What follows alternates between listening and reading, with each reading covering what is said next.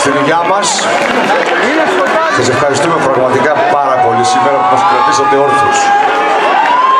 Πάμε είχαμε και καμιά σόπα, κανένα τζάκι, είχαμε κανένα κρασί κόκκινο,